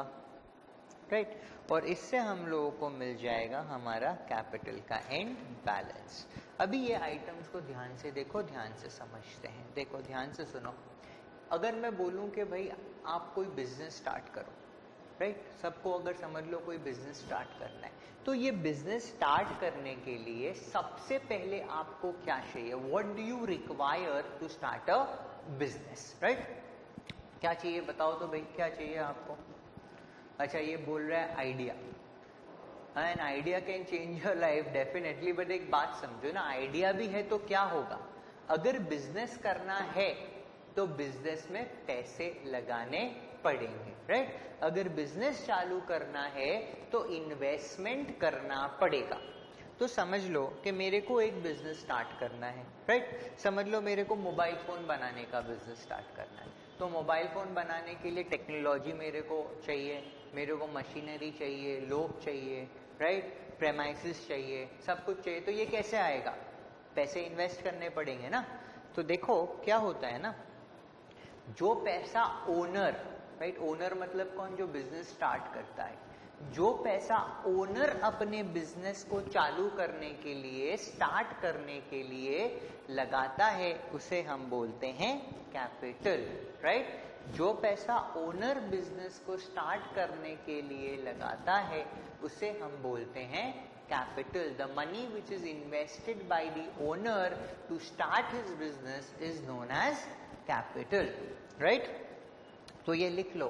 कैपिटल का मतलब क्या? जिस right is money which the owner money which the owner invest to start the business right money which the owner invests to start the business is known as his capital, right, is known as his capital. Money with the owner invests to start the business is known as his capital. ठीक है फिर जो पैसा owner जैसे कि एक business start कर लिया अब सारी कमाई तो बिज़नेस से ही हो रही है ना अभी मेरे को कोई पर्सनल खर्चा करने के लिए चाहिए तो मैंने तो बिज़नेस को पैसा दिया है बिज़नेस प्रॉफिट भी कमा रहा है तो मैं बिज़नेस से कुछ पैसा लूँगा to meet my personal expenses तो मेरे पर्सनल एक्सपेंसेस मतलब ओनर के पर्सनल एक्सपेंसेस मीट करने के लिए, जो पैसा ओनर बिज़नेस से विड्रॉ करता है बिज़नेस से निकालता है, उसे हम बोलते हैं drawings right money withdrawn right the definition money withdrawn by the owner from his business money withdrawn by the owner from his business to meet his, to meet his personal expenses is known as drawings मतलब business में जो पैसा लगाया, वो capital business से अगर owner पैसा निकालता है for personal use is known as drawings अगर और पैसा लगाएगा तो इंट्रोडक्शन प्रॉफिट होगा तो उसके कैपिटल में ऐड हो जाएगा बिकॉज़ प्रॉफिट किसको बिलोंग करता है? ओनर को बिलोंग करता है। अगर लॉस हुआ तो वो भी किसको भुगतना पड़ेगा? ओनर को ही भुगतना पड़ेगा तो उसका कैपिटल इतने से लेस हो जाएगा। अभी देखो, आपके मन में एक सवाल, बहुत लोगों के मन में मेरे को दिख रहा है कि एक सवाल आना शुरू हो गया है right is a question in the mind which is why's capital liability owner ने तो बिज़नेस को पैसा दे दिया ना तो ये लायबिलिटी क्यों है? सो so, देखो मैं आपको एक कॉन्सेप्ट बताता हूँ। जब भी हम लोग अकाउंटिंग करेंगे ना जैसे जैसे धीरे धीरे इस अकाउंटिंग फ़ील्ड में आगे बढ़ेंगे we'll see that there are certain accounting principles right there are certain accounting principles right उसको हम लोग गैप भी बोलते हैं generally accepted accounting principles and there are certain accounting principles वो कुछ प्रिंसिपल्स के वजह से कैपिटल को हम एक लायबिलिटी मानते हैं। देखो वो कौन सा प्रिंसिपल है? This principle is known as the separate entity concept क्या कॉन्सेप्ट का नाम है? सेपरेट एंटिटी कॉन्सेप्ट अभी आगे के चैप्टर्स में आएगा। This concept is known as separate entity concept ये कॉन्सेप्ट क्या बोलता है? कि the business and the owner right समझ लो, मैं बिज़नेस चालू करता हूँ जेपी एंड कंपनी के नाम से। राइट बिज़नेस चालू करता हूँ जेपी एंड कंपनी और मेरा नाम है जयेश पोपट तो मैं और मेरा बिज़नेस दोनों अलग अलग लीगल एंटिटीज है। लॉ के नज़र में मेरा बिज़नेस अलग है और मैं अलग हूँ। राइट तो मैंने जो पैसा अपने बिज़नेस को दिया है फ्यूचर में बिज़नेस का ऑब्लिगेशन है कि ये पैसा मेरे को लौटाना पड़ेगा राइट right? सो so, जो पैसा बिज़नेस में आता है ओनर के तरफ़ से उसको बोलते हैं कैपिटल बट बिज़नेस और owner are two different entities दोनों के अलग बुक्स ऑफ़ अकाउंट्स होते हैं। तो बिज़नेस को क्या करना पड़ेगा? फ्यूचर में अगर चाहे तो ओनर अपना पैसा बिज़नेस से निकाल सकता है। या तो जब बिज़नेस बंद होगा, जब बिज़नेस बंद करेंगे, तभी भी बिज़नेस को ये पैसा ओनर को वापस देना पड़ेगा। That is why it will result in outflow of cash in future right absolutely clear about this अभी नेक्स्ट आइटम में चलते हैं। Next item we take as loan taken, right? So, सारा पैसा घर से थोड़ी ना लगा देंगे। बैंक फाइनेंशियल इंस्टीट्यूशन से लोन लेंगे राइट तो देखो लोन तो लिया। तो जब लोन लिया, तब तो पैसा आया। बट फ्यूचर में क्या करना पड़ेगा? लेकर बैठ जाएँगे क्या? Can we retain the loan money no क्या करना पड़ेगा? हमें बैंक को या फाइनेंशियल इंस्टीट्यूशन को, जिससे भी हमने ये लोन लिया है उनको ये पैसा वापस रिटर्न करना पड़ेगा right are you clear about it loan taken मतलब जो बिज़नेस पर्पज के लिए हम बैंक से फाइनेंशियल इंस्टीट्यूशन से, जिससे भी पैसा लोन में लेते हैं राइट right? जो भी हम बोरो करते हैं, उसको बोलते हैं loan taken why is this a liability This is a liability because in future we need to repay it to the bank the lender जिससे हमने ये पैसा लिया है. तो देखो लोन टेकन लिख लो. Money borrowed by the business मतलब money borrowed by the business from bank और financial institution money borrowed by the business from bank और फाइनेंशियल इंस्टीट्यूशन अभी नेक्स्ट आइटम पे चलते हैं। Sundry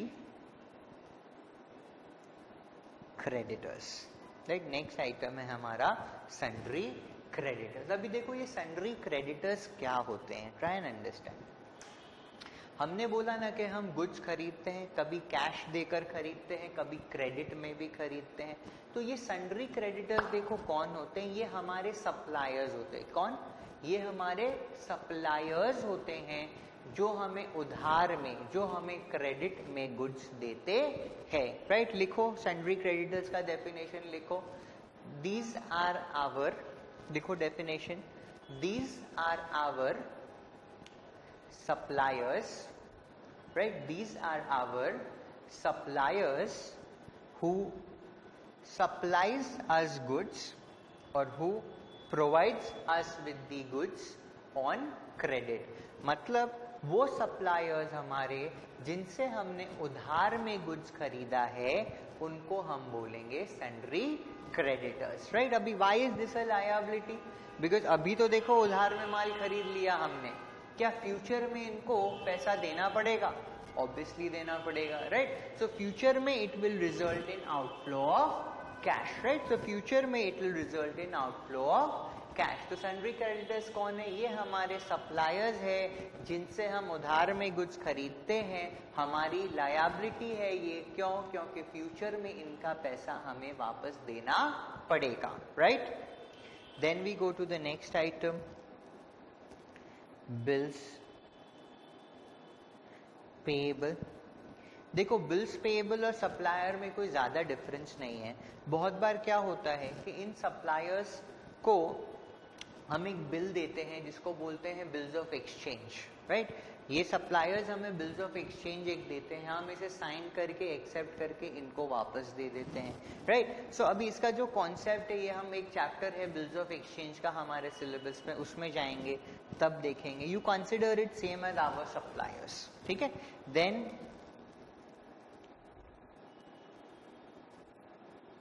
आउटस्टैंडिंग एक्सपेंसेस अभी देखो, समझो ये आउटस्टैंडिंग एक्सपेंसेस क्या होता है right let is understand what are these outstanding expenses समझ लो कि हमारा इलेक्ट्रिसिटी बिल हमारा फ़ोन का बिल राइट right? सब कुछ जो लास्ट मंथ मार्च के मंथ का आया बट अभी तक हमने पे नहीं किया राइट सो ड्यू तो हो गया ना? तो आउटस्टैंडिंग एक्सपेंसेस का मतलब ऐसा खर्चा जो कि ड्यू है राइट right? ऐसा खर्चा which is due for payment but जिसका पेमेंट अभी हमने किया नहीं है right what are these outstanding expenses mean those expenses which has been incurred which is due for payment but we have not paid as yet right right the definition outstanding expenses means those expenses those expenses which have been incurred those expenses which has been incurred and are due for payment and are due for payment but we haven't paid them as yet right but we haven't paid them as yet इसलिए हम लोग बोलते हैं इनको outstanding expense why is this a liability अभी due है, अभी outstanding है तो फ्यूचर में जाके तो पे करना पड़ेगा ना, नहीं तो हमारा फ़ोन कनेक्शन काट देंगे इलेक्ट्रिक कनेक्शन काट देंगे तो पेमेंट तो करना पड़ेगा right so these are various liabilities which we need to know right now. अभी हम एसेट साइड के तरफ़ चलते हैं राइट मतलब लायबिलिटी क्या बहुत डेंजरस चीज़ है, ऐसी चीज़ है which will result in outflow of cash और outflow of benefits in future अब एसेट्स की बात करते हैं राइट अब एसेट्स की बात करते हैं कि एसेट्स क्या होते हैं। Results in inflow of cash और benefits in फ्यूचर मतलब लायबिलिटी का उल्टा है। लायबिलिटी से आउटफ्लो होगा एसेट से इनफ्लो होगा। किसका? कैश का या बेनिफिट्स का? देखो, इसके अंदर फ़र्स्ट कैटेगरी है फिक्स्ड एसेट्स राइट इसके अंदर फ़र्स्ट कैटेगरी है फिक्स्ड एसेट्स अभी देखो फिक्स्ड एसेट्स क्या होता है? ये भी लिखना हाँ। फिक्स्ड एसेट्स मतलब ऐसे एसेट्स ऐसा नहीं कि जो फिक्स्ड ही रहता है, जिसको हिला नहीं सकते, उसको फिक्स्ड एसेट बोलेंगे। Fixed assets means those assets which the business will use for a long period of time मतलब ऐसे आइटम्स जो कि बिज़नेस एक लंबे समय तक यूज़ करेगा normally for more than one accounting year तो लिखो those items those items which will be used in the business, those items which will be used in the business for more than one accounting year, right? Those items which will be used in the business for more than one accounting year, right? इसको एक साल से ज़्यादा period के लिए use करेंगे we will use this item in our business तो देखो ऐसे क्या क्या आइटम्स है let's say land Buildings plant and machinery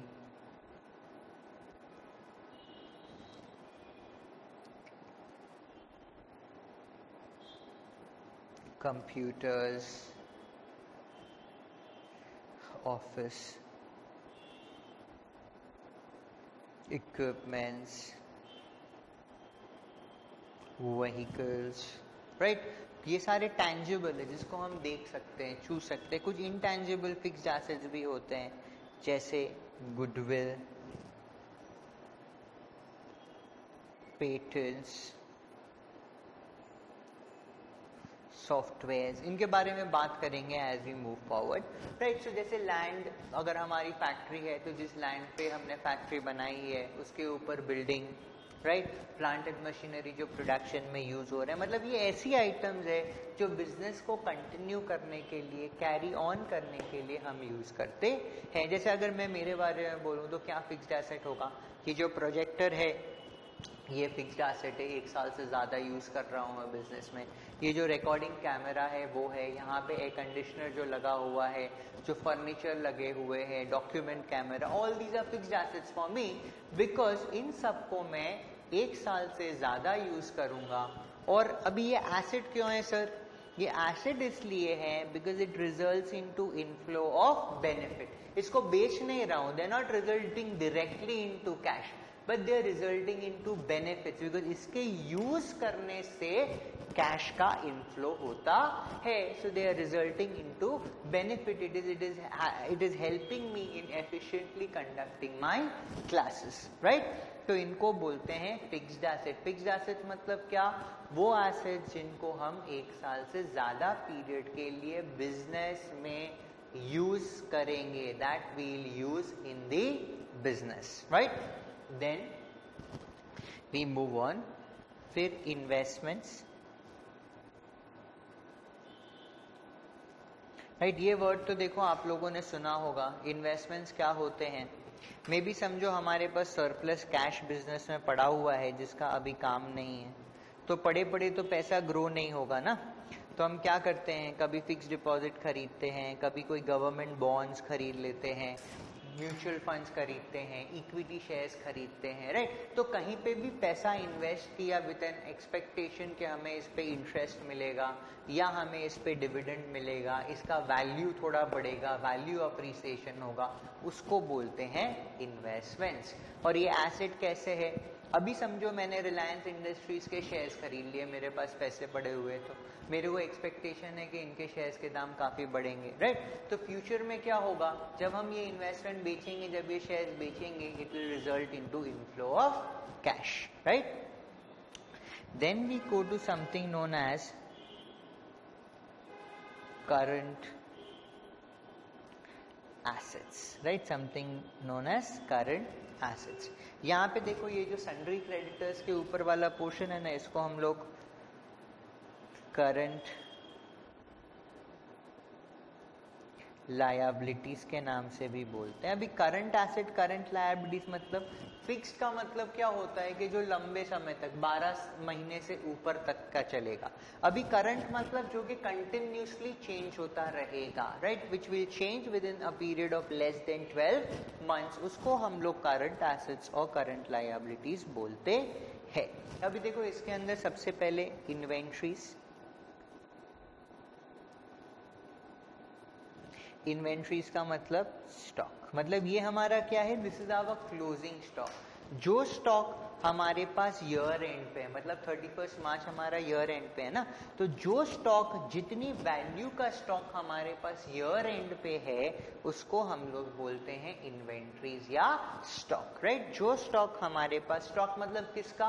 Of the goods which we deal in right उसका जो स्टॉक हमारे पास ईयर एंड पे है, इसको हम इन्वेंट्री या स्टॉक बोलते हैं राइट अभी बात समझो। ये एसेट क्यों है? ये एसेट इसलिए है क्योंकि फ्यूचर में इसको बेचेंगे तो इससे हमें पैसा मिलेगा right then sundry debtors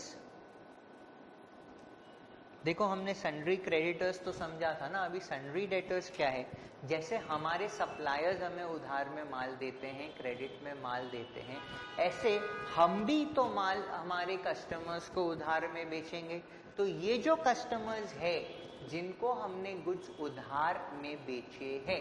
Right those customers to whom we have sold goods on credit they will be known as our debtors collectively they will be known as our debtors तो इसका डेफिनेशन लिख लो भाई। इसका क्या definition होगा? These are our customers right these are our customers to whom we sell goods on credit right these are our customers to whom we sell goods on credit, right? Absolutely clear.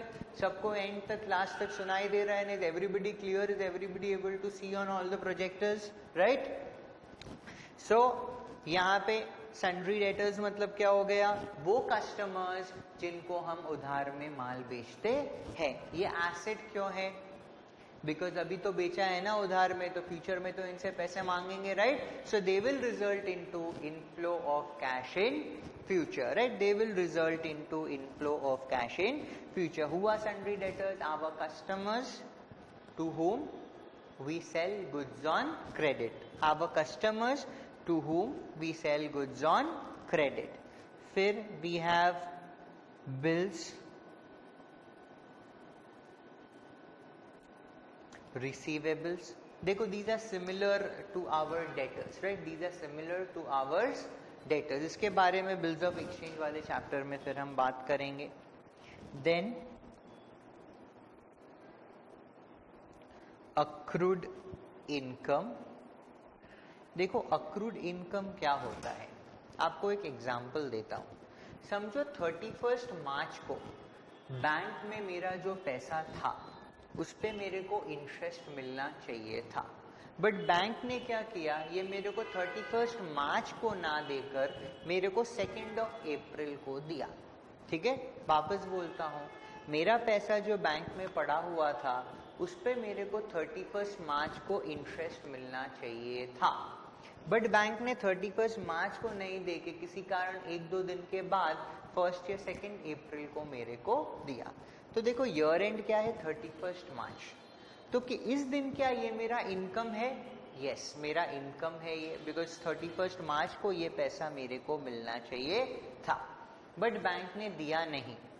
तो मेरा right तो है ना thirty first March को ये पैसा bank से मांगने का। तो इसको हम लोग बोलेंगे अक्रूड इनकम मतलब वो इनकम जो कि हम अर्न कर चुके हैं। क्या? वो इनकम जो कि हम अर्न कर चुके हैं बट अभी तक हमें मिला नहीं है राइट सो यहाँ पे लिखो आप income earn income earn but not received till the year end income earn but not received till the year end income earned, but not received till the year end is known as accrued income, right?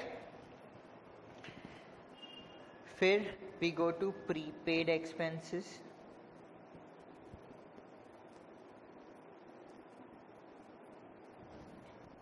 अभी देखो ये prepaid expense क्या होता है, हम समझते हैं right right? समझ लो कि मैंने आज थर्टी फ़र्स्ट मार्च है, जिस दिन हम अपनी बैलेंस शीट बना रहे हैं। मैंने अपने लैंडलॉर्ड को नेक्स्ट छह महीने का रेंट आज ही पे कर दिया राइट नेक्स्ट छह महीने का रेंट आज ही पे कर दिया। तो आज मैंने पेमेंट किया तो क्या ये आज का खर्चा है? नहीं। ये तो फ्यूचर का खर्चा है ना? कब का खर्चा है? फ्यूचर का। नेक्स्ट फाइनेंशियल ईयर का। नेक्स्ट ईयर में अप्रैल में जून जुलाई अगस्त सितंबर राइट छह महीने तक मेरे को ये प्रमाइसिस यूज़ करने मिलेगी क्योंकि मैंने छह महीने का आज ही एडवांस पे कर दिया है। तो इसको क्या बोलेंगे? Prepaid expenses expense future का है बट हमने आज एडवांस में उसको पे कर दिया। राइट तो इसमें लिखो आप लोग। Expenses of future period paid in advance right expenses of future period paid in advance मतलब एक एक्सपेंस है फ्यूचर पीरियड का बट पेमेंट आज एडवांस में हमने इसका कर दिया है। Why is it an asset अभी थोड़ी ना पैसे वापस मिलेंगे बट हमें ये प्रेमाइसिस तो यूज़ करने मिलेगी ना अगले छह महीने तक। That is why it result into inflow of benefit right that is why it result into inflow of benefit then cash in hand cash at bank cash in hand मतलब जो रोकड़ा रुपया, जो नोट हमारे कैश बॉक्स में पड़ी हुई है ईयर एंड पे, उसको क्या बोलेंगे? Cash in hand and cash at bank मतलब जो हमारे बैंक अकाउंट में हमारा पैसा पड़ा हुआ है राइट right? जो हमारे बैंक अकाउंट में हमारा पैसा पड़ा हुआ है, उसको हम बोलेंगे कैश एट बैंक जो हमारे अकाउंट में, जो हमारे बैंक अकाउंट में हमारा पैसा पड़ा हुआ है, उसे बोलेंगे कैश एट बैंक देखो, मैं अभी आपको वापस बताता हूँ राइट गाइज़ लिसन प्लीज़ ये सारा चीज़ मतलब हमने trading profit and loss account और बैलेंस शीट किया। क्या हमारा ऑब्जेक्टिव ट्रेडिंग और प्रॉफिट एंड लॉस अकाउंट या बैलेंस शीट समझने का था? नहीं।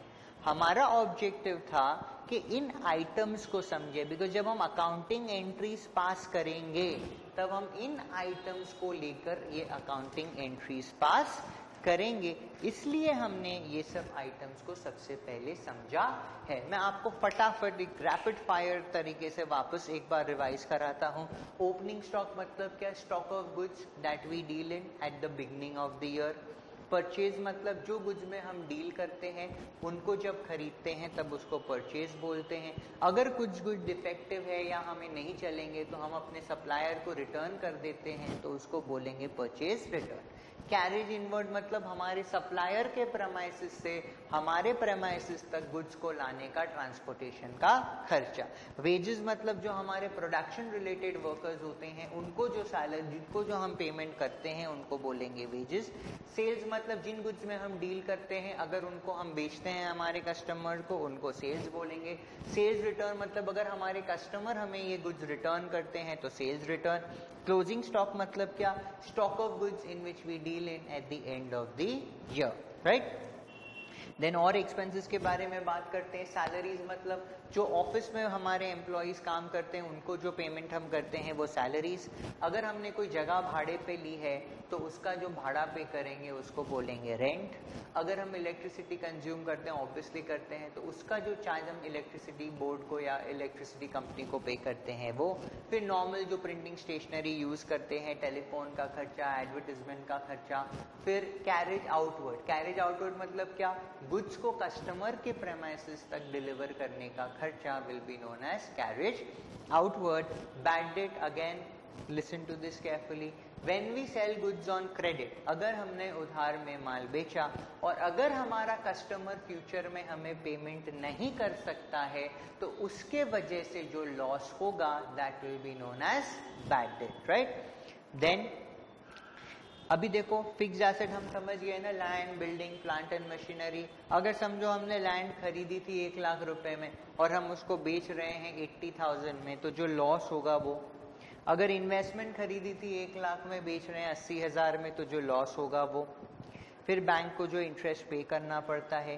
बैंक में हमारा जो पैसा है, उसके ऊपर जो इंटरेस्ट मिलता है, किसी के लिए हम सर्विस प्रोवाइड करते हैं, किसी के लिए माल बेचते हैं तो कमीशन मिलता है। बैड डेट रिकवर्ड मतलब वो लॉस जो कि हमने पहले लिख लिया था बिकॉज़ हमारे कस्टमर ने पैसा नहीं दिया था। अगर फ्यूचर में वो हमें पैसा दे देता है तो we'll call it as bad debt recovered then अगर फिक्स लैंड हमने एक लाख में खरीदी, डेढ़ लाख में we bought it for one lakh we sold it we sell it for one lakh fifty thousand तो फिफ्टी थाउज़ेंड का जो प्रॉफिट हुआ वो। सिमिलरली इन्वेस्टमेंट एक लाख में खरीदी और एक लाख पचास में बेच दी right we bought in the investment for one lakh we sold it for one lakh fifty तो जो प्रॉफिट हुआ वो, ये सारे आइटम्स को इनकम और एक्सपेंसिस बोला जाता है। देन एसेट्स एंड लायबिलिटीज की बात करें, देखो लायबिलिटीज क्या होती है? Liabilities is something which will result in outflow of cash और बेनिफिट्स इन फ्यूचर तो क्या क्या लायबिलिटीज में है? पहले कैपिटल कैपिटल मतलब क्या? वो पैसा जो ओनर अपने बिज़नेस को स्टार्ट करने के लिए इन्वेस्ट करता है। ड्रॉइंग्स मतलब क्या? When the owner withdraws money from the business for his personal use is known as drawings, right? Then loan taken हम बिज़नेस करने के लिए बैंक्स या फाइनेंशियल इंस्टीट्यूशन से जो लोन लेते हैं, वो फ्यूचर में रीपे करना पड़ेगा। फिर सन्ड्री क्रेडिटर्स मतलब डीज रिप्रेजेंट आवर सप्लायर्स ये कौन है? हमारे सप्लायर्स जो हमें क्रेडिट में माल बेचते हैं. Then we have bills payable these are similar to creditors मैंने बोला बिल्स ऑफ़ एक्सचेंज में समझेंगे. आउटस्टैंडिंग एक्सपेंसेस मतलब वो एक्सपेंसेस जो इनकर हो चुके हैं बट अभी हमने पे नहीं किए हैं. तो फ्यूचर में पे करना पड़ेगा, इसलिए हम इसको लाइबिलिटीज बोलते हैं. Then we talk about assets. Assets मतलब क्या? Something which results in inflow of cash for benefits in future. तो सबसे पहले फिक्स assets. फिक्स assets क्या होते हैं? ऐसे assets. जिसको हम एक अकाउंटिंग ईयर मतलब 12 महीने से ज़्यादा पीरियड तक बिज़नेस में यूज़ करते हैं, ये हमें बिज़नेस को एफिशिएंटली कैरी करने में हेल्प करते है। सो बेसिकली इसमें land building plant and machinery computers vehicles office equipment इन सबको बोलते हैं टैंजिबल एसेट्स क्यों टैंजिबल बोलते हैं? बिकॉज़ हम इसको देख सकते हैं राइट right? छू सकते हैं। फिर इनटैंजिबल इनको देख नहीं सकते। बट फिर भी ये गुडविल पेटर्न सॉफ्टवेयर हमें बेनिफिट्स देते हैं। इन्वेस्टमेंट मतलब जो सरप्लस पैसा हमारे पास पड़ा होता है तो किसी शेयर्स में म्यूचुअल फंड्स में हम इन्वेस्ट कर देते हैं और इसके ऊपर हमें रिटर्न्स मिलता है फिर फ्यूचर में। फिर इन्वेंट्रीज मतलब stock of goods in which we deal in year end पे जो स्टॉक हमारा पड़ा हुआ है, वो हमारा इन्वेंट्री है। क्यों आसेट है? क्योंकि इसको फ्यूचर में बेचेंगे तो बेच के हमें पैसा मिलेगा। फिर सन्ड्री डेटर्स मतलब क्या? Those customers to whom we have sold goods on credit sundry debtors मतलब क्या? Those customers to whom we have sold goods on credit right bills receivable similar to sundry debtors accrued income मतलब वो income जो हम earn कर चुके हैं but अभी हमें मिला नहीं है तो फ्यूचर में हमें मिलेगा। प्रीपेड एक्सपेंस मतलब फ्यूचर का कोई एक्सपेंस अगर हम आज पे कर देते हैं तो उसको क्या बोलेंगे? Prepaid expense any expense which is paid in advance cash in hand मतलब हमारे कैश बॉक्स में तिजोरी में जो पैसा पड़ा हुआ है, उसे बोलेंगे cash in hand cash in bank मतलब हमारे बैंक अकाउंट में जो पैसा पड़ा हुआ है, उसको बोलेंगे cash at bank right absolutely clear तो देखो, ये बेसिक कॉन्सेप्ट था to know the items which we have to deal in accounting right अभी किस तरह से अकाउंटिंग करनी है, वो अभी नेक्स्ट फ़ेज़ में समझेंगे। आज का जो डिस्कशन था, ये अभी जो हमने, अभी तक जो डिस्कशन किया, उसमें हमने क्या समझा है कि अकाउंट्स में किन किन आइटम्स के साथ हमें डील करना है राइट तो अभी हम इसके बाद अब आगे बढ़ेंगे कि किस तरह से अकाउंटिंग करनी है, उसके बारे में वी विल अंडरस्टैंड